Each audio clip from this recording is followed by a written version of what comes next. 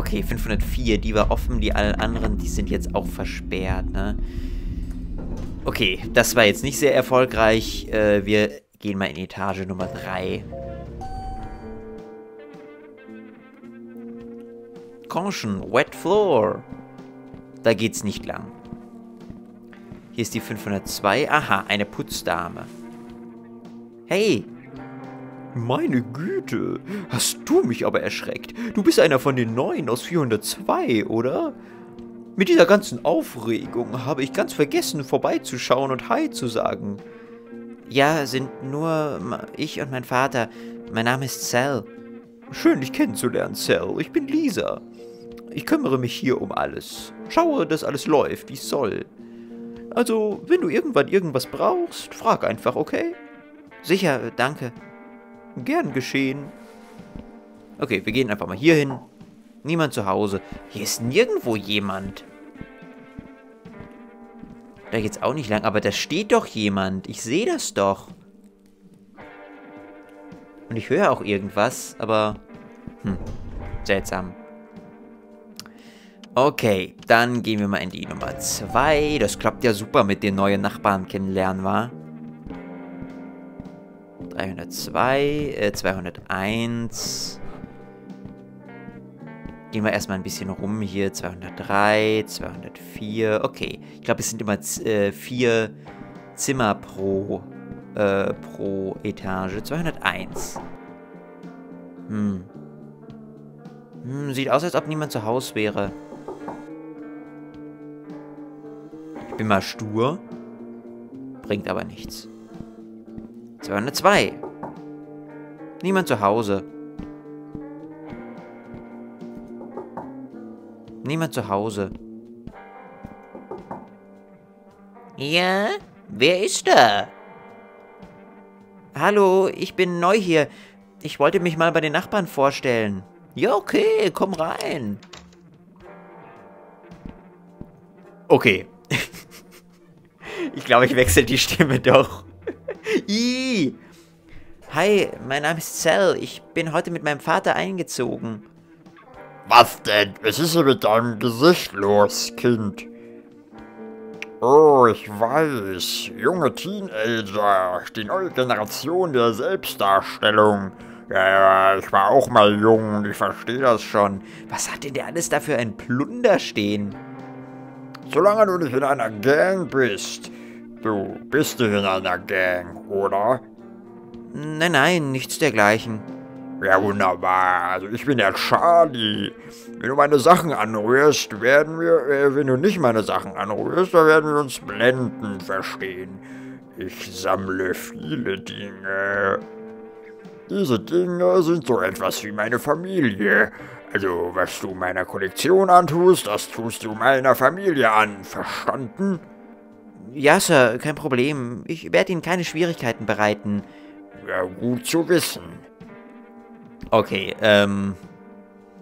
Wir haben hier verschiedene, naja, sowas wie My Little Ponies. Ganz, ganz viele. Da oben sind so ein bisschen, das sieht so ein bisschen aus wie solche Funko Pops. Der Kürbiskopf sieht ein bisschen aus wie äh, hier Jack Skellington. Und hier, naja, so äh, Star Wars oder sowas. Und das sieht aus wie, keine Ahnung, Bisschen die Mario Brothers, ne? Weide dich im Ruhe meiner kompletten Sammlung von Glitterponys. Es ist eine große Errungenschaft, sie alle zu besitzen. Sieh sie dir ruhig an, aber denk nicht einmal im Traum daran, sie anzufassen. Was ist ein Glitterpony? Äh, äh, äh, Was war das denn?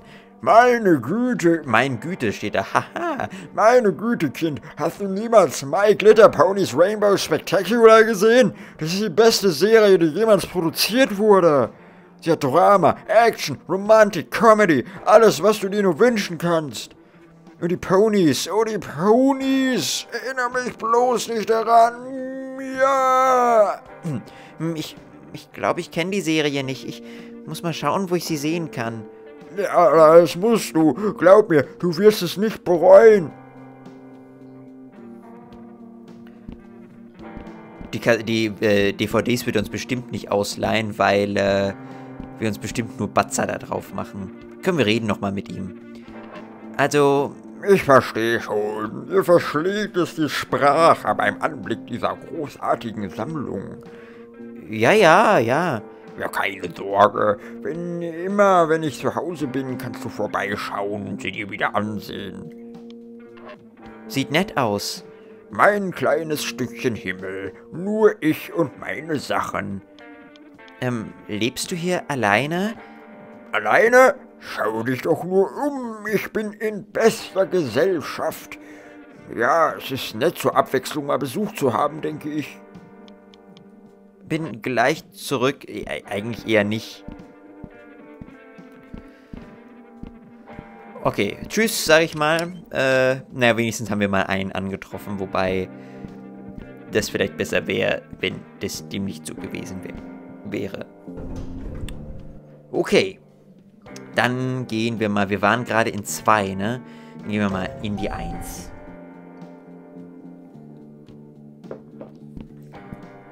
Edison. Ah, okay, sind das die Vermieter, weil das die Edison Apartments hier sind? Huch, guten Tag. Was ist hier los? Hallo, junger Mann. Du bist, der erste heute, du bist erst heute hier eingezogen, nicht wahr? Ja, Sir. Ich denke schon, ich habe schon mit deinem Vater gesprochen. Sieht so aus, als wäret ihr gestern Nacht noch in einem anderen Stadt gewesen. Scheint zu stimmen, das ist gut. Versuch uns nicht im Weg herumzustehen, okay? Wir müssen ein Verbrechen aufklären.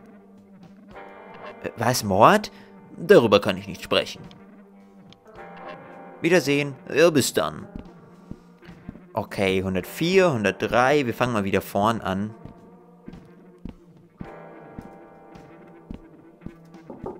Upsa. Hä? Ja, was willst du? Ist es hier ein bisschen früh für Halloween? Äh, Äh. Blöde, nichtsnutzige Kinder.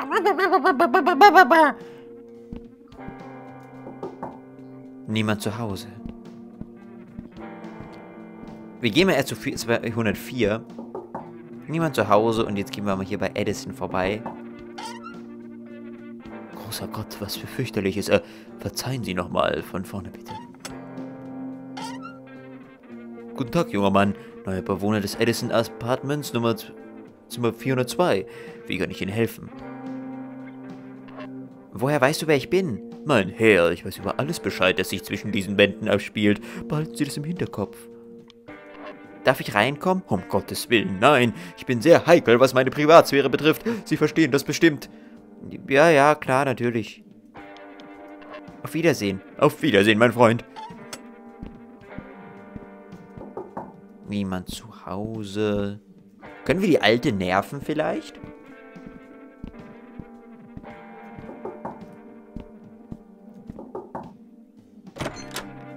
Schon wieder? Wieso wollt ihr Kinder mir das Leben zur Hölle machen? Lass mich doch einfach in Ruhe. Wann hört diese Qual endlich auf?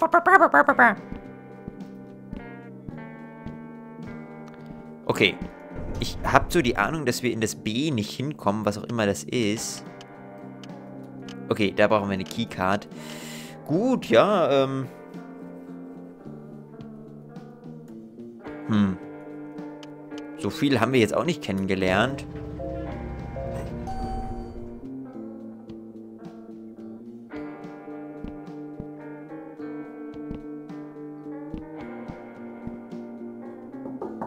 Niemand zu Hause. Ach so, da ist er. Hm. Hoffentlich gibt es bei uns jetzt nicht irgendwelche äh, Einflüsse dieses Mordes angeblich, der da p- passiert ist.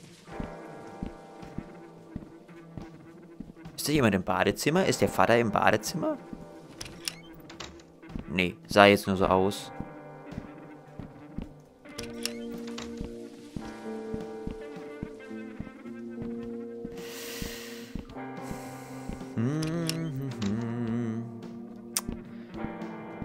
Ja, wir haben uns umgeguckt, war keiner da. Hey, Kleiner. Okay, man sieht sich. Okay, das... Der sagt uns nichts. Seltsam.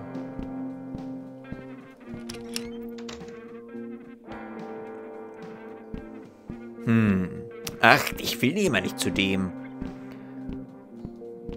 Okay. Ich glaube, ich äh, mache äh, hier kurz nochmal eine Aufnahmepause. Am Anfang von so einem neuen Let's Play bin ich immer ein bisschen misstrauisch, was Technik so und so angeht. Ähm, von daher ähm, geht es dann gleich weiter und ich gucke nur kurz mal, äh, wie es mit der Technik aussieht. Bin gleich wieder da. Bis gleich. So, und da sind wir schon wieder zurück bei Sallyface. Und äh, ja, ich weiß eigentlich gar nicht, was wir tun sollen. Außer, dass ich mich gerade nochmal, ich habe mir die äh, Aufnahme nochmal angeguckt, ob alles klappt, nochmal entschuldigen muss für diese gravierenden Fehler, die mir entgangen sind. Erst einmal, als wir vorhin bei, dieser Hund, bei diesen Hundetüren waren, habe ich gesagt, die Hu-Tür fehlt, obwohl wir da durchgegangen sind. Natürlich meinte ich, dass die He-Tür fehlt. Also falls ihr davon irritiert geworden seid, dann entschuldige ich mich dafür. Genauso, wo ich gesagt habe, hier geht's zur Schokoladenfabrik durch die Hu-Tür und dabei einfach ähm, äh, ja, das, äh, ja, und habt ihr euch wahrscheinlich auch gedacht, was? Äh, aber ich habe einfach dies, äh, den Weihnachtsfilm verwechselt. Es, Who ist nämlich, äh, kommt ja nämlich in der Grinch vor und nicht Charlie und die Schokoladenfabrik. Ich bin einfach schon zu lange aus dem Let's Play Game raus, also ja, das tut mir sehr, sehr leid für diese gravierenden Mängel, ähm, aber jetzt geht's weiter. Ich weiß nur nicht wo. Ich habe irgendwie Lust, nochmal alles abzugehen.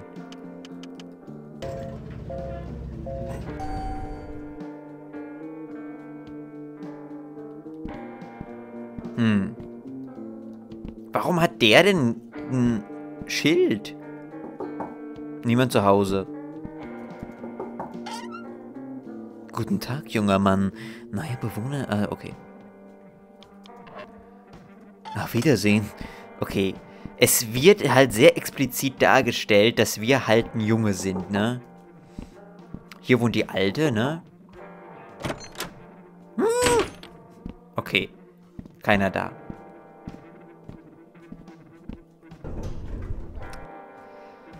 Ähm... Ja, gehen wir doch dann mal nochmal hier hin. Weil hier ging gar nichts, ne? Niemand zu Hause. Ja, ja, ja, ja, ja, Sally. Ja, Sally, ich weiß das. Hier ist wohnt nur der Charlie. Schön, dass auch äh, von Zimmer immer die Rede ist und nicht von Wohnung. Das muss wirklich sehr angenehmes Wohnen hier sein. Hm, sieht aus, als ob niemand zu Hause wäre. Aber, hm, hier sagt sie jetzt nicht niemand zu Hause, weil hier sieht es nur so aus, als wäre keiner zu Hause. Haben wir nicht was im... Gearboy. Allerdings braucht ihr neue Batterien. Okay. Äh, ich dachte schon, dass wir da vielleicht irgendwie weiterkommen. Aber vielleicht finden wir ja oben irgendwie Batterien. Hm, also in unserer Wohnung. Wir gehen im dritten Stock nochmal gucken. Hier war die Putzfrau, ne? Aber hier ist auch jemand. Da steht doch jemand. Niemand zu Hause und hier ist nur sie, ne? Hey Lisa, Hey Sal, ich meine, hey Sal, wie läuft's bei dir? Ah, okay. Die haben wir noch gar nicht befragt. Wie lange arbeitest du schon hier? Ja, eigentlich arbeite ich nicht nur hier, sondern wohne auch in dem Haus. Ich bin rund um die Uhr auf Abruf bereit, für den Fall, dass eine dringende Reparatur vonnöten ist. Egal, was die anderen sagen, es ist schön, hier zu Hause zu sein. Ich bin richtig stolz darauf, hier schon seit zehn Jahren zu wohnen. Ja, es sieht ganz nett hier aus. Ja, da kannst du drauf wetten. Was sagen die anderen über das Gebäude? Ja, über verschiedenste Dinge. Dieses Gebäude ist schon über 100 Jahre alt, weißt du? Die Leute beschweren sich immer über das eine oder andere. Aber du wirst hier keine Beschwerde von mir hören. Ich bin eine Frau der Tat. Wenn ich ein Problem sehe, kümmere ich mich darum. Super, super Frau. Ja, die meisten Leute regen sich über Kleinigkeiten auf. Du kannst dir nicht immer Kleinigkeit über Kleinigkeiten den Kopf zerbrechen, Sal. Das bringt doch nichts, verstehst du? Ja, da hast du recht. Glaub mir, es ist besser, wenn man nur an die schönen Dinge des Lebens denkt. Konzentrier dich darauf, was dich glücklich macht. Deine Energie ist zu kostbar, um sie für anderes zu verschwenden. Die mag ich. Aber das wird, wird mich jetzt wirklich hier interessieren. Weißt du irgendwas darüber, was in 403 passiert ist? Der erste Eindruck war sicher nicht gerade positiv für dich und deinen Vater. Wirklich eine Schande. Ich schwöre dir, solche Grausamkeiten stehen ansonsten nicht an der Tagesordnung. Ach, arme Mrs. Sanderson. Wer ist Mrs. Sanderson? Äh, egal. Es ist besser nicht an so fürchterliche Sachen zu denken. Wie kann man denn hier Spaß haben? Weißt du was? Ich habe einen Sohn in deinem Alter. Ich glaube, ihr würdet euch super verstehen. Er ist unten in unserem Apartment. Du solltest dich ihm vorstellen. Ja, okay, dann gehe ich Hallo sagen. Super, sein Name ist Larry. Er ist sicher im Keller. Sag ihm, dass ich, dass ich dich geschickt habe. Allerdings äh, wirst du eine Keycard benötigen, um mit dem Aufzug dorthin zu gelangen. Hier, nimm die. Ich habe ein paar zusätzliche. Woher auch immer. Ja, cool, danke. Spukt es hier? Sal, Süßer, ich kümmere mich schon lange um die Edison Apartments und habe noch nie einen Goblin oder Geist gesehen. Die Leute haben zu viel Fantasie, zu viele Süßigkeiten und Gruselfilme, meiner Meinung nach. Okay, dann bis dann. Okay, bis später. Dann kommen wir hier wohl weiter. Ähm, und würde sagen... Oh, ich habe gerade überlegt, ob wir noch nach Batterien gucken sollen, aber ich glaube nicht. Wir haben uns ja auch alles angeguckt. Von daher gehen wir jetzt mal ins, in den Keller, ins Basement wahrscheinlich. Oh, Waschmaschinen, Waschküche. Mann, ich freue mich schon richtig, das zu verwenden, wenn die Hölle zufriert. Waschen ist doch gar nicht so schlecht.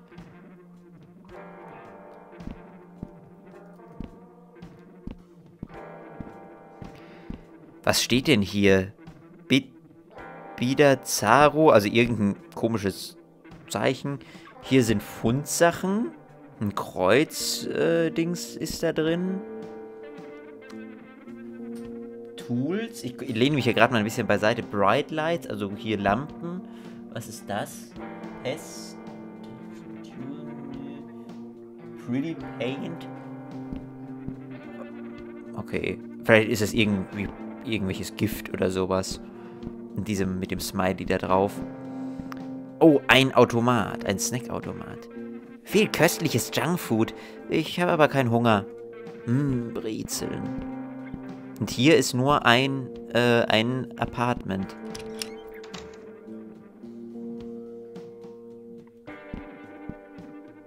Ganz schick. Ach, guck mal, da ist die Lisa mit dem Larry. Und das sind bestimmt die Eltern von der Lisa. Bücherregal. Boah, Pizza. Boah, hätte ich jetzt gern. Ein Bad, das Badezimmer. Äh, was? Was geht denn hier? Hä? Hallo. Was zum Teufel war das?